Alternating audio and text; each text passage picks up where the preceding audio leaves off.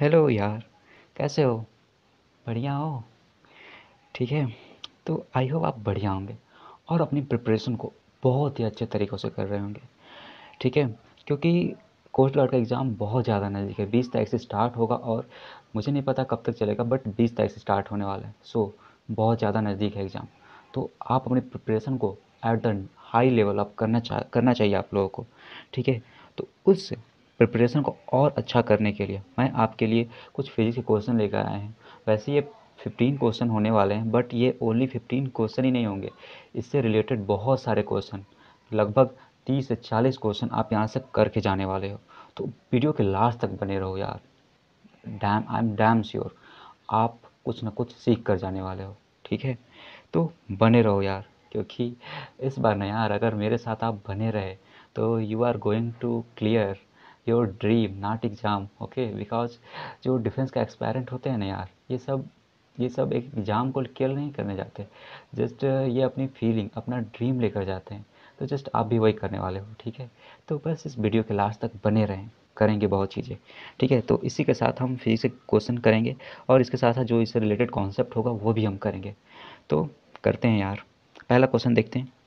हमारा पहला क्वेश्चन है, ये पहला क्वेश्चन है in a circuit four resistor each of uh, each of 12 ohm are connected in parallel 12 volt battery. What is the equivalent resistance of circuit? अच्छा circuit का हमें क्या निकालना है? इक्विवेलेंट हमें रेजिस्टेंस निकालना है। तो कैसे निकालेंगे? अरे यार आप लोगों ने पढ़ा होगा क्लास टेंथ में द टोटल रेजिस्टेंस निकालने का द इक्विवेलेंट रेजिस्टेंस निकालने का। चलो देखते हैं वैसे ठीक है? तो हमारे पास कितना हाँ ओम है? ट्वेल्व ओम है। कितने रजिस्टर है? फोर हमारे पास फोर रजिस्टर है ट्वेल्व ओम का है, और सबको किसमें किया गया? पैरेलल में कनेक्टेड किया गया। जब भी ऐसा कुछ कंडीशन होता है तो जब भी हम पैरेलल में कनेक्ट करते हैं रेजिस्टेंस को तो किस टाइप का फार्मूला आता है? One upon R equal to one upon R one plus one upon R two plus one upon R three plus one upon R four होता है, ठीक है? तो चार रेजिस्टेंस है, सभी का रेजिस्टेंस इक्वल है तो twelve plus one by twelve plus one by twelve plus one by twelve हो जाएगा, सारा को जोड़ दो तो कितना होगा? फोर बाई ट्वेल्व हो जाएगा। घटा दो वन बाई थ्री, यानी कि आर इक्वेलेंट कितना आ गया? That is the answer is three ohm ठीक है? थ्री ओम का रेजिस्टेंस होगा। हमारे पास कितना है? अब ऑप्शन देख लेते हैं। तो कौन सा ऑप्शन सही होगा? Option C C is Chulbul Pandey okay सही होगा। नहीं यार सी इज़ चार्ली ठीक है? सही होगा। C option is correct answer हाँ इसे, इसको देखकर मेरे में, मेरे दिमाग में एक क्वेश्चन आया है, इसको भी देख लेते हैं एक बार। ठीक है? हाँ अच्छा ये बताओ, आपने ओम का नियम तो पढ़ा होगा, ohms law. Ohm, ohms law, ठीक है?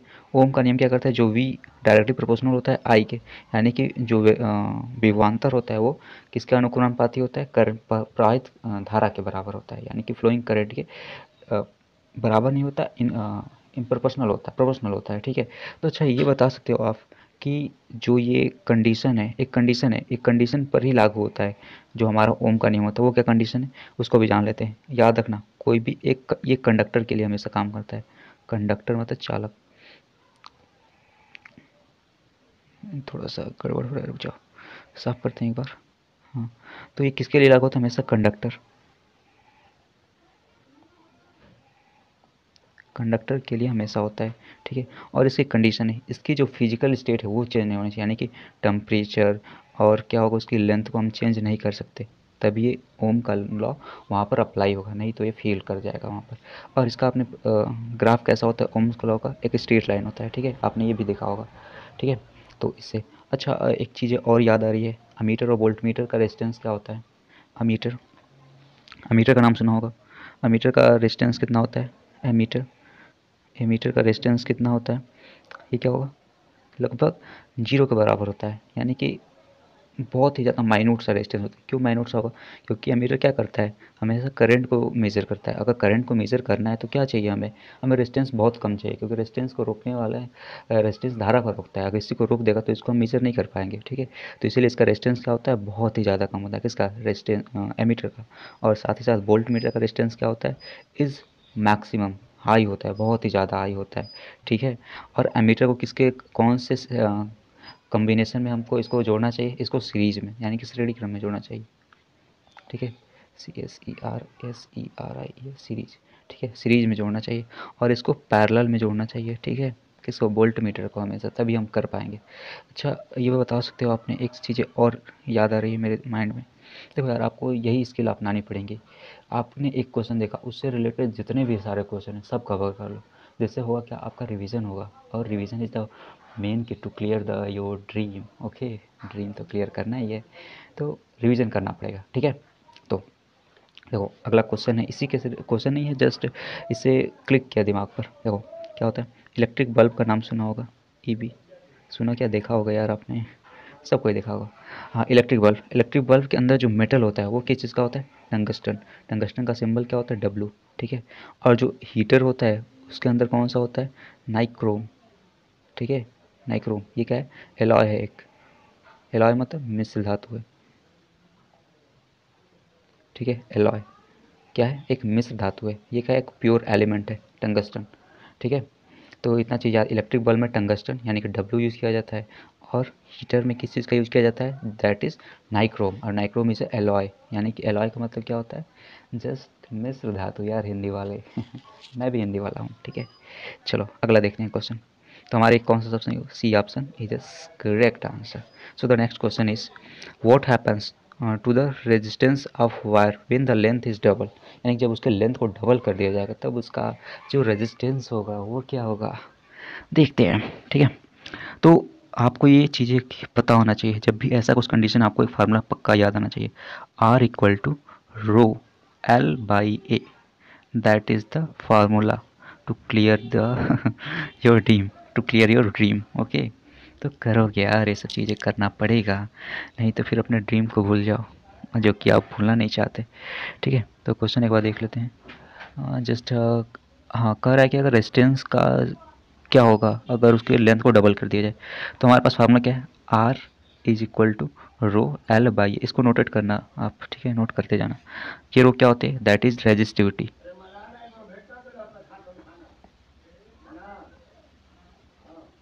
that is resistivity L क्या है? Length of or area of cross cross section ठीक है? क्रॉस सेक्शन एरिया है ए अब देखो यहाँ पर क्या है? जो आर है वो डायरेक्टली प्रोपोर्शनल किसका है? एल के। यानी कि अगर लेंथ को हम डबल करेंगे तो दैन रेजिस्टेंस भी क्या होगा? डबल हो जाएगा ठीक है? अगर इसके अंदर जो चीज़ें चेंजेज हो रही है अगर इसके अंदर मान लेते हैं ये तीन गुना हुआ जो लेंथ हुआ तो भी रेजिस्टेंस क्या हो जाएगा? That will be the also the three times three times हो जाएगा ठीक है? तो इसका क्या होगा? गेट डबल होगा। ये बाकी नहीं होने वाले ठीक है? सब खत्म। समझ में आ रहा है? अच्छा ये बताओ एक चीज़ और। जो ये रजिस्टिविटी है इसका जो आ, क्या कहते हैं? फार्मूला नहीं। यूनिट क्या होता है? दैट इज़ ओम मीटर ठीक है? Ohm metre ohm metre is the unit of resistivity resistivity का क्या है? एक यूनिट है, याद रहेगा? ओके याद होना चाहिए यार। ठीक है, याद होना चाहिए। नहीं तो फिर कोई फ़ायदा नहीं है। आपकी इस लाइफ का? ठीक है बच्चों। बच्चों नहीं भाई यार, ठीक है? तो हाँ इसको जान लेते हैं। Ohm metre is the unit of resistivity ohm metre और एक होता है कंडक्टिविटी कंडक्टिविटी क्या होता है? सिग्मा ठीक है sigma is equal to one upon rho rho होता है। यानी कि इसका क्या होगा? पर ओम मीटर इसका यूनिट हो जाएगा। प्रति ओम मीटर प्रति ohm metre is the unit of conductivity conductivity is the inverse inverse inverse of किसका? रेजिस्टिविटी ठीक है कंडक्टिविटी उल्टा होता है रेजिस्टिविटी का। उसी तरह से कंडक्टेंस होता है। कंडक्टेंस इसको नेक्स्ट स्लाइड स्लाइड पर देखते हैं। होता है कंडक्टेंस कंडक्टेंस ये क्या होता है? ये रेजिस्टेंस का उल्टा होता है। ठीक है? तो इसका यूनिट क्या होगा? पर प्रति ओम प्रति ओम ठीक है? पर ओम ऐसे लिख सकते हैं इसको। ठीक है? प्रति ओम और इसको एक और नाम दिया जाता है। क्या कहते हैं? साइमन। ठीक है? Siemens. Siemens is the unit of conductance ठीक है? याद रहेगा? आई होप इतना तो याद ही रहेगा। सो so, अगला हम क्वेश्चन पर चलते हैं। ठीक है? अगला क्वेश्चन है हम। Which one of the following is a good conductor of electricity ठीक है? इलेक्ट्रिसिटी की का कौन सा गुड कंडक्टर है? ग्रेफाइट इलेक्ट्रिसिटी कंडक्ट करता है। हाँ करता है भाई। गोल्ड मेटल है तो करेगा ही। सॉइल डायमंड डायमंड करेगा? नहीं यार ये नहीं करता है इसका क्यों नहीं करता? बिकॉज़ जो इसके बॉन्ड होते हैं सब फिक्स होते हैं बधे हुए होते हैं एकदम सॉलिडली बॉन्ड है तो ये कंडक्ट ही नहीं करता सॉइल करता है। तो ऑप्शन में आप कंफ्यूज हो गए होंगे कैसे? क्योंकि आपने सॉइल भी देखा होगा और आ, मिट्टी भी देखा होगा और हीरा हीरा तो देखा नहीं होगा मुझे नहीं पता वैसे मैंने भी नहीं देखा। तो देखा होगा नहीं पता लेकिन आ, हीरा क्या होता है ये भी कंडक्ट नहीं करता आपका दिमाग में होगा ये भी नहीं करता। बट आपने जा पता होगा यार आपको कि जो ये सॉइल होते हैं ना यार सॉइल इसके अंदर मिनरल्स होते हैं। मिनरल्स मिनरल्स होते हैं। तो मिनरल्स क्या करते हैं? इलेक्ट्रॉन को फ्लो को आ, करते हैं इलेक्ट्रॉन के फ्लो करते हैं। अगर इलेक्ट्रॉन फ्लो करेंगे तो दैट इसका मतलब क्या है कि इलेक्ट्रिसिटी भी फ्लो करने वाली है। तो कौन सा इलेक्ट्रिसिटी को का गुड कंडक्टर नहीं है? दैट इज़ डायमंड ग्रेफाइट क्या होता है? Graphite graphite is allotropes of carbon carbon का एलोट्रॉफ एलोट्रॉफ है ठीक है? एलोट्रॉफ है। इसके अंदर कौन सा जो हाइब्रिडेशन होता है, वो क्या होता है? एस पी टू होता है। कभी कभी आपको सी के एग्ज़ाम या एन डी के एग्ज़ाम में ये चीज़ें पूछ लेता है। ग्रेफाइट के अंदर कौन सा हाइब्रिडेशन होता है? संकरण किस टाइप का होता है? एस पी टू होता है, ठीक है। और और क्या होता है कि ये क्या है? एक इलेक्ट्रिसिटी को फ्लो करता है, ये कार्बन का ही होता है। और गोल्ड के बारे में जान लेते हैं। Gold that is gold gold is gold का सिंबल क्या होता है? कमेंट करके बताओगे। वैसे नहीं, मैं बताऊँगा। क्या होता है गोल्ड का सिंबल ए यू इससे डॉट नहीं होता ए यू होता है सिंबल ठीक है? अब देखो, ये क्या है? मोस्ट डक्टाइल मेटल है। Most ductile most ductile metal का मतलब क्या है? इसके द्वारा हम तार खींच सकते हैं। मतलब इससे बहुत पतले पतले तार बनाए जा सकते हैं। किसके थ्रू गोल्ड के थ्रू और इसी, ये भी, और क्या है? ये मोस्ट मेलिएबल भी है। ठीक है? मेलेबल मतलब इसको सीट के फॉर्म में भी हम चेंज कर सकते हैं। ठीक है? Most malleable and most ductile metal is gold. याद रहेगा, सोना। सोना बाबू, चलो छोड़ो। ठीक है। तो क्या होगा gold is a most ductile metal and and most malleable ठीक है? तो याद रहेगा इतना चीज़ें। ठीक है? हाँ तो ऑप्शन कौन से होगा B C option is the correct answer diamond diamond is the correct answer ठीक है? डायमंड के बारे में कुछ जान लेते हैं। देखो, यहाँ पर हम कहते पहले ही बताया था कि हम क्वेश्चन बस एक करेंगे। लेकिन यहाँ पर होगा क्या? बहुत सारे क्वेश्चन हम कवर कर लेंगे इसी के थ्रू हाँ डायमंड क्या होता है? Diamond what is diamond diamond is the hardest substance यानी क्या ये हार्डेस्ट सब्सटेंस है? यानी कि हार्ड है, बहुत ज़्यादा दुनिया का सबसे हार्डेस्ट सब्सटेंस है। और क्या है इसके अंदर लो फ्रिक्शन होता है? बहुत ही लो फ्रिक्शन लो फ्रिक्शन होता है। और क्या चीज़ें होती है? लो फ्रिक्शन के अलावा, यहाँ पर इसका हाई रिफ्रैक्टिव इंडेक्स होता है। यानी कि दुनिया में सबसे हाई रिफ्रैक्टिव इंडेक्स किसका होता? हाई रिफ्रैक्टिव इंडेक्स किसका ज़्यादा होगा? ठीक है? हाई होता है किसका? हाई इसका म्यू सबसे हाई होता है। यानी कि इसका अपवर्तनांक सबसे ज़्यादा होता है। कितना होता है? टू पॉइंट फोर टू के आसपास का होता है। एन में चीज़ें लिखी हुई है। एन पढ़ो यार। N C R T is the key to is key ठीक है? और देखते हैं। इट इज़ अ स्कैटर्ड और क्या करता है ये? स्कैटर करता है। किस चीज़ को? लाइट को सबसे ज़्यादा स्कैटर करेगा। यानी कि स्कैटर करेगा। स्कैटर करेगा लाइट को सबसे ज़्यादा, बहुत ही ज़्यादा। और इतना चमकीला क्यों दिखाई देता है? Because of total internal reflection that is the main thing याद रहेगा? टोटल इंटरनल रिफ्लेक्शन की वजह से डायमंड इतना ज़्यादा शाइनी इतना चमकीला दिखाई देता है। तो आई होप इतना अच्छा से बताया, आपको याद रहे आपके एग्ज़ाम तक। ओके सो अब नेक्स्ट क्वेश्चन पर आते हैं। That is the next question is your क्या है? देखो the value of g is less than देखो यार, जब भी आपको ये ऑप्शन दिखाई दे ऑल ऑफ़ एव खुश हो जाओ be happy because the most of time ये ऑप्शन ही करेक्ट होता है। हमेशा आपने देखा होगा, अगर आपने एग्ज़ाम दिया होगा तो आपको ये पता होगा ऑल ऑफ़ द एप बहुत ज़्यादा चांस होते हैं यार कि ये सही हो जाए क्लियर हो जाए। मतलब क्लियर क्या? सही हो जाए क्वेश्चन ठीक है? तो खुश हो जाओ। इसको ऐसे आपसे यही सही होने वाला है, देख लेते हैं। आउट क्या हो रहा है कि जी की वैल्यू कहाँ कहाँ कम होती है कहाँ कहाँ कम होगी। Outside the earth gravitational field हाँ ये तो कम ही होगी। ज़ीरो हो जाएगी उसके ग्रेविटेशनल फ़ील्ड से बाहर में ज़ीरो ही हो जाएगी। ठीक है तो कम ही हुई ना? तो ये भी ऑप्शन सही ऑन द माउंटेन अच्छा हाइट पर जाते हैं तो क्या होता है? जी की वैल्यू क्या करती है? डिक्रीज करती है। At the h height the value of g gets decreases ठीक है? एंड द सी ऑप्शन क्या है? इन द ओशियन ओशियन मतलब हमने गहराई में चले गए। ओशियंस मतलब महासागरों में हम चले गए। और डिक्रीज क्या, अगर इसकी भी हम डेप्थ को बढ़ाएँगे तो जी क्या होगा? अपने आप नीचे जाएगा। जी भी कम होता है। ठीक है? तो इसका ऑप्शन कौन सा D option is the correct answer so इसके बारे में कुछ और चीज़ें जान लेते हैं। क्या चीज़ें जानेंगे? बहुत चीज़ें यार। ठीक है? तो इसका फार्मूला क्या होता है? अगर एच हाइट में हमने गया तो उसके लिए फार्मूला क्या होगा? G dash equal to g g upon क्या होगा? One minus two h upon R का स्क्वायर ठीक है? आई होप ये एफ़ ओ फार्मूला याद रहे। ये क्या होगा? जब हम एच हाइट पर चले जाएँगे, तब उसकी जी की वैल्यू क्या होगी? ये कब काम करेगा? वहाँ पर। ठीक है? अच्छा एक चीज़ और जान लेते हैं। अच्छा जी की वैल्यू स्मॉल जी की वैल्यू सेंटर पे क्या होती है? ज़ीरो होती है। यानी कि the centre of earth the value of g will be is zero value नहीं इज़ ज़ीरो हमेशा ज़ीरो होती है। ठीक है? और जब एक फार्मूला ये भी है g dash equal to g minus R omega square cos square theta ठीक है? तो ये फार्मूला कब अप्लाई होता है? ये फार्मूला अप्लाई होता है कब? जब पृथ्वी रोटेट कर रही है। अच्छा अगर रोटेशन बंद हो जाएगा तो क्या होगा? ये पूरा ज़ीरो दिस विल पूरा इसकी वैल्यू क्या हो गई? यानी कि जो ये कोड़िए चाल है कोड़िए वेलोसिटी है एंगुलर वेलोसिटी है, ये क्या हो गई? ये ज़ीरो हो गई। अगर ये ज़ीरो तो पूरा ज़ीरो यानी कि जी की वैल्यू क्या होगी?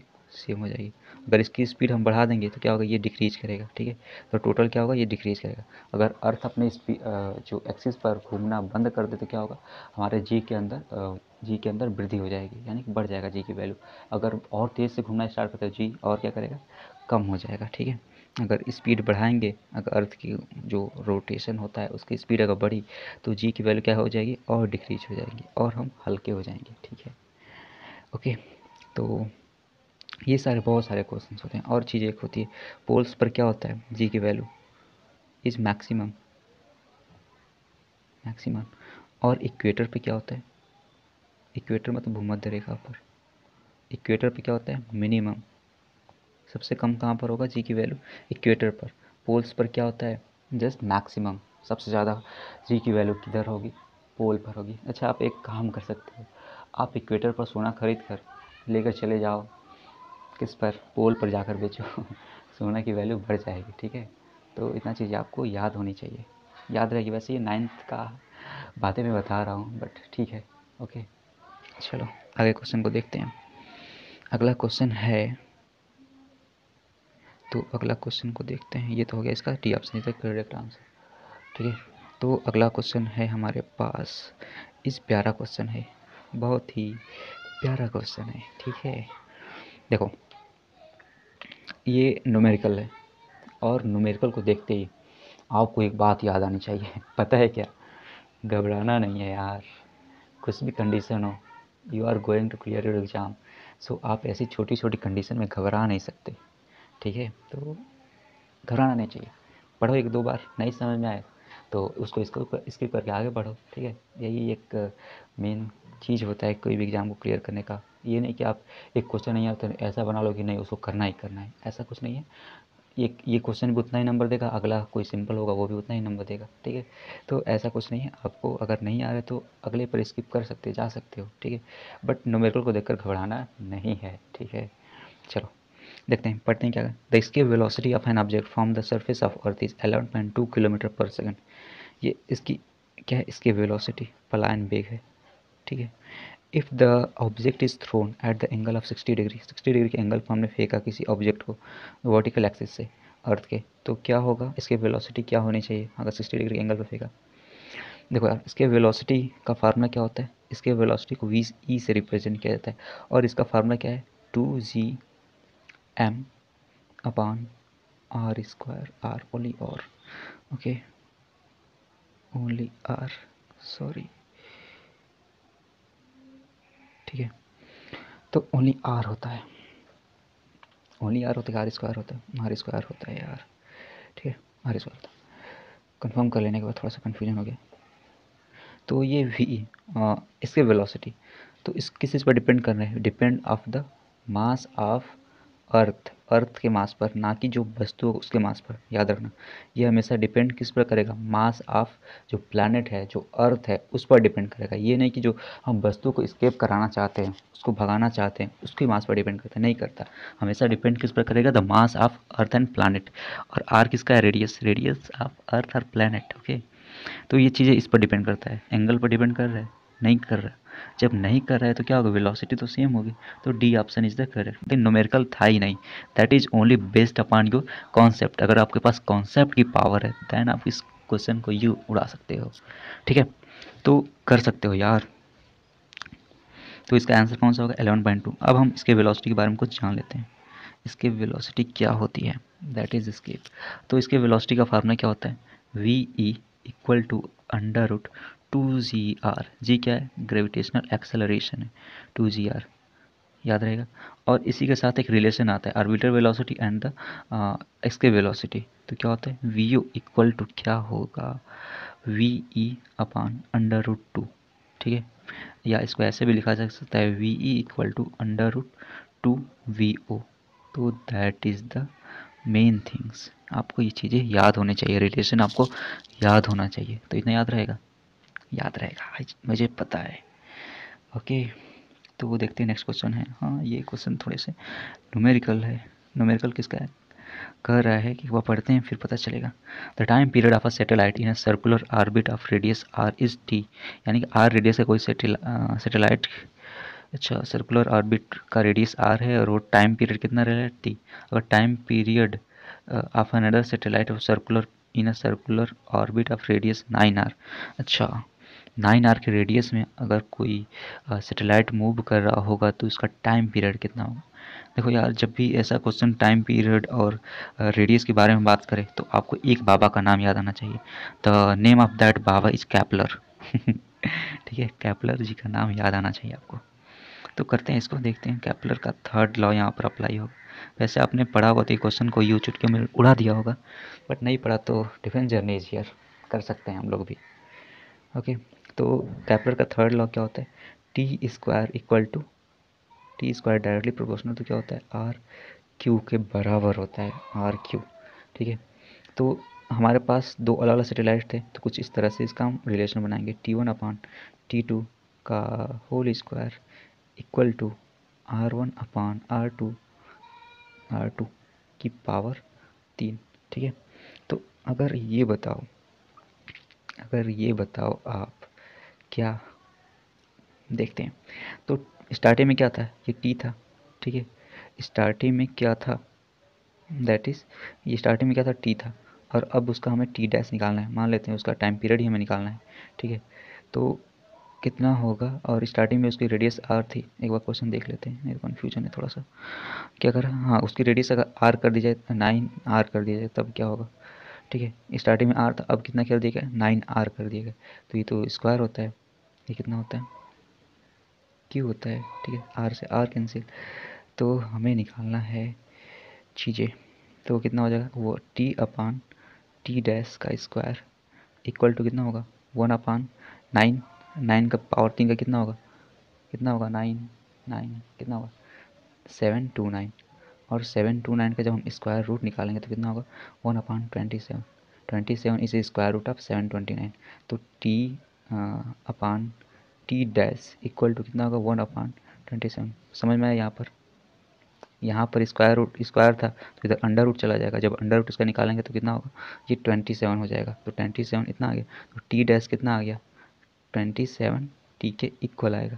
तो ये क्वेश्चन मुझे टाइम लग रहा है करने में बट आपको अगर आएगा तो आप 10 से 20 सेकंड के अंदर इसको उड़ा सकते हो, ठीक है? बहुत आसान क्वेश्चन है। तो इसका ऑप्शन कहीं होगा C option is the correct answer अच्छा कैपलर बाबा ने एक दो और लॉ दिए थे, उसको भी जान लेते हैं, ठीक है? तो फ़र्स्ट लॉ इन्होंने दिया था। फ़र्स्ट लॉ था कि जो हमारा जो प्लानट है, वो सूर्य के किसके, एक इलिप्टिकल ऑर्बिट में, यानी कि दीर्घवृत्तीय कक्षा में चक्कर लगाते हैं, ठीक है? और इसके अंदर दो फोकस होते हैं। कोई भी आपने मैथ के अगर मैथ के स्टूडेंट होंगे आप, ठीक है, तभी तो ये कर रहे हो। तो आपने इलिप्स पढ़ा, उसके अंदर आपको दो फोकस देखने को मिलते हैं। तो ऐसा कंडीशन अगर कोई भी इलेक्ट्रिकल ऑर्बिट है, उसमें दो सन पॉसिबल है। अगर ऐसा कंडीशन जहाँ भी आपको देखने को मिलता है, वैसे अंतरिक्ष में बहुत सारे ऐसे कंडीशन है, जिसको बाइनरी स्टार सिस्टम कहा जाता है, यानी एक से ज़्यादा है। बाइनरी स्टार सिस्टम है, ठीक है? Binary star system. ये पहला होता है, ये और ये सेकंड होता है, ये फ़र्स्ट होता है क्योंकि हमारे में थोड़ी सी गड़बड़ी है, हमारा जो सोलर सिस्टम है, उसमें बस एक ही स्टार है, हमारा सन, ठीक है? तो ये हमारा पहला नियम है, पहला लॉ है। क्या कहता है कि जो हमारे प्लानट होते हैं, वो एक इलेक्ट्रिकल ऑर्बिट में सन का रिवॉल्व रिवोल्यूशन करते हैं, चक्कर लगाते हैं, ठीक है? और सेकेंड लॉ क्या करता है? थर्ड लॉ तो आपने जान ही लिया, बताऊँगा ना वैसे ठीक है? सेकेंड लॉ का क्या होता है? जैसे जब कोई प्लानट एक इलेक्ट्रिकल ऑर्बिट में चक्कर लगा रहा है तो मान लेते हैं यहाँ पर सन है, ठीक है? तो ये जान लेते हैं यहाँ पर, ऐसा कुछ कंडीशन होगा, ठीक है? अगर यहाँ पर जितना ये टाइम पीरियड में, जितने ये, इतनी दूरी को कवर करने में जितना टाइम लिया, और उसके थ्रू जो ये एरिया बना ना, ये एरिया ये एरिया बना, ये एरिया क्या होगा? किसी भी हम time period same time period के जो घेरे गए एरिया के बराबर होता है, ठीक है? तो अच्छा ये बताओ, अगर सूर्य से कोई वस्तु दूर है, कोई भी ऑब्जेक्ट कोई भी प्लानट दूर है सूर्य से, मान लो यहाँ पर है, इस पॉइंट पर है तो क्या होगा? उसकी स्पीड इस एक दूसरा प्लानट है, इसकी स्पीड ज़्यादा होगी, ये पहला का स्पीड ज़्यादा होगी, दूसरा का स्पीड ज़्यादा होगा, किसका ज़्यादा होगा? इसकी ज़्यादा होगा यार, क्यों ज़्यादा होगा? क्योंकि ये दूर है तो धीरे धीरे मूव करेगा। जैसे जैसे नदी का इसकी स्पीड बढ़ती जाएगी, फिर यहाँ से जाएगा तो फिर तेज़ी से धीरे धीरे यहाँ पहुँचेगा, यहाँ पर धीरे। फिर ऐसा करेगा फिर तेज़ी से आएगा, ऐसा कुछ। तो यहाँ पर इसकी स्पीड स्लो होगी, दूर होगा तो और नदी होगा तो इसकी स्पीड ज़्यादा होगी। ओके चलो, ठीक है। देखते हैं आप अगला क्वेश्चन तो आपका क्वेश्चन कहाँ गया यार? हाँ ये तो C option is the correct answer so next question क्या है? ये देखते हैं। हमारा नेक्स्ट क्वेश्चन है। नेक्स्ट क्वेश्चन क्या है? Gravitational potential energy of an object at the earth surface अच्छा ग्रेविटेशनल पोटेंशियल एनर्जी होती क्या है? अच्छा जैसे मान लेते हैं, समझाते हैं इसको। जैसे दो ऑब्जेक्ट है, एक एक यहाँ पर ऑब्जेक्ट है और एक छोटा सा यहाँ पर ऑब्जेक्ट अच्छा जिसके पास फोर्स होगा तो उसके पास एनर्जी कन्फर्म है। एनर्जी इज़ कन्फर्म जिसके पास अगर फोर्स है। तो इन दोनों के बीच में क्या लग रहा है? एक attraction force as a gravitational force लग रहा है। एक ग्रेविटेशनल फोर्स यहाँ पर लग रहा होगा और जब इसके अंदर फोर्स है तो इस पर काम भी होगा। तो जब क्या होता है ग्रेविटेशनल पोटेंशियल जी? मान लेते ये ऑब्जेक्ट अर्थ है मून को अपनी ओर खींच रहा है, कोई भी एक स्टेट ऑब्जेक्ट स्टेट मतलब रुका हुआ कोई भी एक चीज़। तो ये अब मूव करना स्टार्ट हो है। तो ये यहाँ से तो मूव करके यहाँ पर तो नज़दीक आ गया ना? तो इसके द्वारा ग्रेविटेशनल फोर्स के द्वारा कि जो किसी वस्तु को अनंत से, यानी किस कितनी दूरी से अपने पास लेकर आने में जितना कार्य किया जाता है, उसी कार्य को हम क्या कहते हैं? ग्रेविटेशनल पोटेंशियल एनर्जी इसका फार्मूला क्या होता है? U equal to minus G M m small m बटा में आर ठीक है? तो this is a formula of gravitational potential energy गुरुत्वीय क्या कहते हैं स्थितिज ऊर्जा, ठीक है, गुरुत्वीय स्थितिज ऊर्जा का ये फार्मूला है, ठीक है तो ये फार्मूला याद रखें और देखो, फार्मूला में क्या है? डायरेक्ट ही माइनस है। तो gravitational potential energy will be also always negative ठीक है? नेगेटिव क्यों होता है? क्योंकि किसके द्वारा काम किया गया है ये? लेकिन इसकी स्टेट चेंज नहीं हुआ। किसका स्टेट ये किसी दूसरे का स्टेट चेंज कर रहा था। किसी दूसरे का सिचुएशन चेंज कर रहा था। ये मान लेते हैं कोई बड़ा ऑब्जेक्ट ये छोटा। तो ये खुद का स्टेट ये पहला वाला, ये खुद का नहीं चेंज कर रहा है, ये इसका चेंज करवा रहा है। जब इसका चेंज करवा रहा है तो इस पर काम तो नहीं हुआ। लेकिन इसके द्वारा काम किया तो इसीलिए क्या होता है, ये हमेशा ऑलवेज नेगेटिव ही आता है, ठीक है? तो इसका ऑप्शन कहिए बस ये ऑप्शन है और ये बाकी सब गलत है। भूल जाओ ये सब चीज़ें। ठीक है? तो देखते हैं। नेक्स्ट क्वेश्चन क्या है? एंड देखो यार, जब भी कोई भी बड़ा क्वेश्चन आपको दिखाई देना तो सबसे पहले आप उसको रीड करो। आप करते क्या हो वहाँ पर एग्ज़ाम में? आप रीड ही नहीं करते। बड़े क्वेश्चन को देखकर तुरंत स्किप करते हो। तो ऐसा मत करो। ऐसा करोगे तो दिक्कत होगी। क्योंकि बड़े क्वेश्चन कभी कभी आसान मिल जाते हैं, बहुत आसान होते हैं यार बड़े क्वेश्चन क्योंकि उसमें डिटेल्स दिए रहते हैं और ज़्यादा कभी कभी हो जाते हैं बड़े बड़े ख़तरनाक भी होते हैं कभी कभी बट उसमें डिटेल्स दिए जाते हैं तो वो आसान होते हैं। अगर आपने एक दो बार ध्यान से पढ़ लिया तो अब उसको आप क्लियर को फोड़ क्लियर नहीं क्वेश्चन को फोड़ देंगे, ठीक है? तो वो देखते हैं क्वेश्चन को। क्वेश्चन है कि an object weights nine newton on the surface of world what would be what would be क्या होगा? हम्म। तो अगर कह दिया जाए उसका जो ग्रेविटी है एक बार पढ़ लेते हैं पढ़ाओ आप। And object weights nine newton on the surface of earth what would be the weight यानी कि वेट क्या होगा? जब उसके जो प्लेनेट है उसका due to acceleration due to gravity twice यानी कि दोगुनी कर दी गई तब उसका वेट क्या हो जाएगा? ठीक है देखते हैं। तो करते भी देखते क्या है करते हैं। सो so, आपको फार्मूला पता है फोर्स एफ़ की वैल्यू कितना दिया है? नाइन न्यूटन कहाँ पर? At the surface of earth तो एफ़ इक्वल टू क्या होता है? एम जी के बराबर होता है। F equal to m g equal to कितना दिया है? नाइन ठीक है? अच्छा ये बताओ मास चेंज होगा। चेंज किसमें लेकर आ रहे हैं? हम चेंज किसमें लेकर? चेंज ला रहे हैं हम जी में। जी को कितना किएगा टू जी कर दिएगा ट्वाइस कर दिया गया। और एम तो सेम ही रहने वाला है, क्योंकि सेम ऑब्जेक्ट है। ये हम हमें ये नहीं पता। ठीक है? ये नहीं पता। तो अगर ये कर देते हैं तो टू एम हो जाएगा यहाँ से टू एम और एम की वैल्यू कितनी है? नाइन है तो कितना होगा? टू इंटू नाइन तो नाइन कितना? एटीन आएगा। एटीन देखते हैं आंसर में है। नहीं, ऐसे कुछ तो नहीं है तो there root the no change ये गलत होगा चेंज तो होगा ही द वेट ऑफ़ ऑब्जेक्ट नहीं वन न्यूटन के नहीं बराबर होगा। The weight of object would be two times हाँ दोगुना हो गई, देखो। कितना था? पहले नाइन था, अब कितना? एटीन तो टू टाइम्स हो गया ना। तो यहाँ पर आंसर से सही हो जाएगा। The C option is the correct C is Chulbul Pandey ji सही हो जाएँगे। तो सी करेक्ट हो। बातें समझ में आई? अब अगला क्वेश्चन देखते हैं। अगला क्वेश्चन क्या है? अगला question is very simple just simple as you ठीक है? तो देखते हैं। In space in space mission two new कोई भी स्पेस में टू एक स्पेस मिशन में two neutrons are placed at a distance R R distance पर करें तो neutron will repel each other attract each other देखते हैं। अच्छा। तो रिपेल करेंगे, ये बताओ। रिपेल करेंगे कि नहीं? अच्छा न्यूट्रॉन्स के पास चार्ज होते हैं कि नहीं? नाम ही न्यूट्रल है भाई इसका। तो इसके पास no charge no positive no negative ठीक है? No positive no negative neutron are neutral इसके पास चार्ज नहीं है। अच्छा जब चार्ज नहीं होगा तो इसके बीच में क्या होगा? जो इलेक्ट्रिकल फोर्स होगा, वो अप्लाई होगा। इलेक्ट्रिकल फोर्स अप्लाई किया जाएगा, होगा कि नहीं?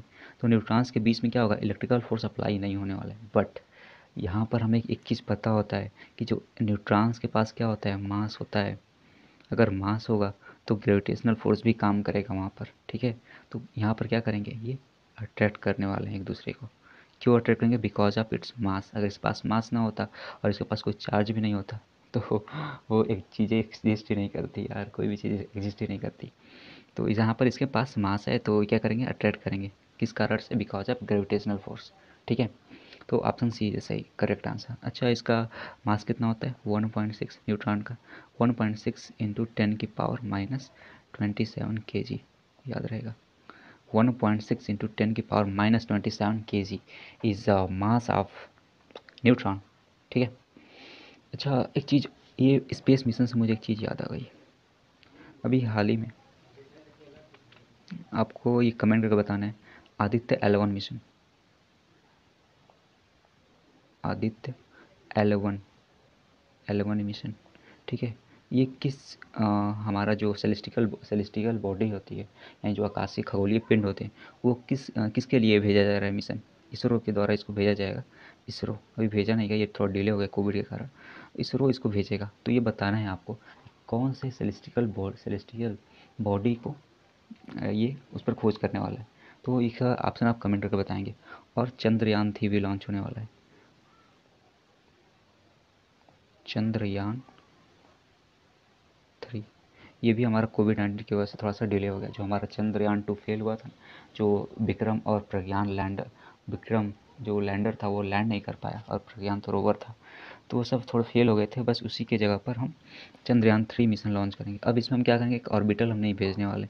इसमें ऑर्बिटल नहीं जाएगा ओनली लैंडर रोवर जाने वाला है, ठीक है? तो ये जल्दी लॉन्च होगा इसरो इसको करने वाला है जल्दी। तो आपको अपने देश के बारे में पता होना चाहिए यार। Because you are going to join the defence और defence is is other name of your your अगर आपके अंदर देशभक्ति है तो भी आप डिफेंस ज्वाइन करने वाले हो, ठीक है? तो मुझे पता है, वैसे है आपके पास। वैसे चलते हैं अगले क्वेश्चन की ओर। अगला क्वेश्चन है what is the next question the next question is this weightlessness weightlessness में क्या होता है? भारहीनता। भारहीनता। यानी कि इसके अंदर भारी नहीं हमें महसूस होगा अपना। हम उड़ते रहने वाले हैं। उड़ते पंछी बनने वाले हैं यहाँ पर। तो एस्ट्रोनॉट जब कोई भी एक मूविंग सैटेलाइट जो अर्थ का जो रोटेट कर रही है तो उसके अंदर वेटलेसनेस किस कारण आता है? ये बताओ।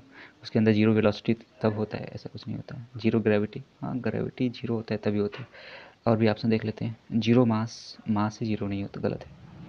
ये गलत ये गलत। Option B and C free fall की वजह से होगा या ज़ीरो ग्रेविटी की वजह से होगा। बहुत लोगों ने इसमें बी ऑप्शन सही किया होगा बट ऐसा नहीं है यार। देखो समझते हैं इसको। आपका हमेशा के लिए क्लियर हो जाएगा। ये हमारा अर्थ तो अर्थ की ओर एक ये सेटेलाइट चक्कर लगाते हैं। अच्छा मान लेते कोई यहाँ पर एक ऑब्जेक्ट है। तो ये इधर इसको नीचे आना चाहिए। नीचे आना चाहिए, ठीक है? तो नीचे क्यों नहीं आता? बिकॉज़ ऑफ़ इट्स स्पीड यानी कि इधर की ओर मूव करता रहता है हमेशा एक स्पीड के साथ। ये तो इस जो ये नीचे वाला फोर्स है इसको बैलेंस कौन सा कर रहा है? सेंट्रीपिटल फोर्स, जो अभी केंद्र बल है, जो इसको घूमने पर लग रहा है, ठीक है? वो इसको, इसके कारण ये क्या रहा है? जो हमारा ग्रेविटेशनल फोर्स वो किसके कारण? सेंट्रीपिटल फोर्स के कारण ये बैलेंस हो जा रहा है। और जब दोनों फोर्स बैलेंस हो गए तो यहाँ पर अब कोई फोर्स, इसके अंदर कोई भी ऑब्जेक्ट रख दें तो उस पर कोई फोर्स लगाने इसके अंदर सेटेलाइट के अंदर कोई भी ऑब्जेक्ट हम रख देते हैं तो अब इस पर कोई फोर्स ही नहीं फील होगा। जब फोर्स ही फील नहीं होगा तो कौन सा कंडीशन बनेगा? यहाँ पर फ्री फॉल की कंडीशन आ जाती है। यहाँ पर कोई भी फोर्स ही नहीं होता क्योंकि इसको बैलेंस कर लेता है सेंट्रीपिटल फोर्स अगर सेंट्रीपिटल फोर्स ग्रेविटेशनल फोर्स को बैलेंस कर लेता है जैसे ही बैलेंस कर दिया तो हमारे अं, जो इसके अंदर बॉडीज़ है जो वस्तुएँ रखी गई हैं उसके अंदर नो फोर्स इसके अंदर कोई भी फोर्स नहीं होने वाला। अगर जब फोर्स नहीं होगा तो क्या होगा? वो फ्री फॉल की कंडीशन में आ जाएगा। तो option D is the correct ये भी सही है बट इससे ज़्यादा ये सूटेबल है ठीक है? Free fall is the condition of weightlessness in satellites okay तो क्वेश्चन समझ में आया? आया होगा यार। अगला क्वेश्चन देखो, देखते हैं अगला question so this is your question so कह रहा है कि if the momentum is become twice of its original value इसका जो मोमेंटम है मोमेंटम क्या होता है? P equal to M into V M into V हाँ कह रहा है कि इसको ट्वाइस कर दिया जाए। तो क्या होगा कि जो अच्छा ट्वाइस कर दिया गया। Then what is the ratio of new kinetic energy to that of old यानी कि पुराने की तुलना में नई काइनेटिक एनर्जी कितना होगी? देखते हैं। स्लाइड अच्छा आपको एक रिलेशन पता होना चाहिए। पी पी क्या होता है? मोमेंटम और काइनेटिक एनर्जी में आपको रिलेशन पता होना चाहिए। तो क्या होता है? P square equal to two M K होता है। ठीक है? तो हमें मास दिया गया है। मास दिया गया? नहीं है। तो हम मास को गैप करते हैं। तो हमारा रिलेशन किसमें बनेगा? P one upon P two का square equal to K kinetic energy पहला काइनेटिक एनर्जी दूसरा। तो this is the condition that ठीक है? होगा। तो अब क्या होगा? देखते हैं। तो क्या किया गया? इसका मोमेंटम को ट्वाइस कर दिया गया ओरिजिनल वैल्यू की तुलना में। पहले हमने किसका माना? ये ओरिजिनल है, ठीक है? ये वाला ओरिजिनल है। ये ओरिजिनल है, ये भी स्टार्टिंग में ओरिजिनल है। ये अब नया वाला है, रुक जाओ इसको थोड़ा सा अच्छा कर देते हैं। ओके सो अगला है, ये डैश वाला न्यू वाला है, ठीक है? तो ओरिजिनल पहले पी था और कैंटीन उसकी के थी। अब इसको क्या किया गया है? अब उसकी क्या किया गया है कि जो मोमेंटम को ओरिजिनल वैल्यू से ट्वाइस कर दिया अब इसको क्या किया गया? टू पी कर दिया गया। ठीक है मोमेंटम को। तब उसकी काइनेटिक एनर्जी कितना होगा? टू पी तो इसको भी हम डैश को गायब करते हैं। तो क्या होगा? एफ़ टू पी हो गया। तो पी से पी कैंसिल आउट अब कितना हो जाएगा? तो ये वन अपान फोर हो जाएगा। अपान के अपान ये के अपान के डैश तो के डैश इक्वल टू कितना होगा? फोर के के बराबर हो जाएगा। यानी कि इसका रिलेशन कितना आएगा? हमें किसका रिलेशन निकालना है? तो के डैश अपान ये पुराना वाला, ये नया वाला है। तो फोर अपान वन ठीक है? ऑप्शन कौन सा रेशियो हमें क्या निकालना है? What is the ratio of new kinetic energy to that of old तो न्यू काइनेटिक एनर्जी ये है और ये तो कितना होगा? फोर रेशियो वन कहीं सा option A A is a correct answer ठीक है? तो हो जाएगा। समझ में आया? ऐसे क्वेश्चन देखो, आप, मुझे टाइम लग रहा है, वैसे समझाना है मुझे तो थोड़ा सा टाइम लग रहा है बट आप अपने से करोगे तो ये चीज़ें आसान होती है। कर लेते हो जल्द, कर लो कर लोगे जल्दी, ठीक है? अगला क्वेश्चन क्या है? अगला क्वेश्चन है अच्छा the potential energy of a spring versus a long graph is and straight line passing through the center is lift होगा straight line but not passing through parabola ठीक है? अच्छा हाँ इसका एक फार्मूला होता है। फार्मूला क्या होता है? किसका? Potential energy of spring potential energy of spring किसका हो गया होता है? वन बाई टू की एक्स स्क्वायर की एक्स स्क्वायर तो देखो यार, आपने अगर पढ़ा होगा पोटेंशियल एनर्जी को मान लेते हैं यू से तो यू इक्वल टू क्या होगा? हाफ़ की एक्स स्क्वायर हुआ ना? तो ये, इसका पावर एक है, इधर दो है। तो ये ऐसा कंडीशन क्या होता है? दैट इज़ द कंडीशन आप मैथ के स्टूडेंट हो तो जानते हो that is the condition of parabola कौन बोला? पैराबोला ठीक है पैराबोला का कंडीशन होता है। तो पैराबोला इज़ द क्या होगा इसका? ग्राफ होगा किसका ग्रेविटेशनल पोटेंशियल ग्रेविटेशनल स्प्रिंग की पोटेंशियल एनर्जी का क्या होगा? पैराबोला इज़ अ ग्राफ तो ऑप्शन कौन सा सही होगा? D option is a answer तो लास्ट सही हो जाएगा, ठीक है? ये वाला आंसर वैसे सही हो गया। तो आपको ये वीडियो ज़रूर ही अच्छा लगा होगा। तो इस वीडियो को लाइक करो और चैनल को सब्सक्राइब करो और अपने दोस्तों तक शेयर करो यार, जिससे वो भी कुछ पढ़ पाए। ठीक है? तो बाय टेक केयर और जय हिंद। और पढ़ते रहो यार बिकॉज़ मेहनत इज़ द की बाय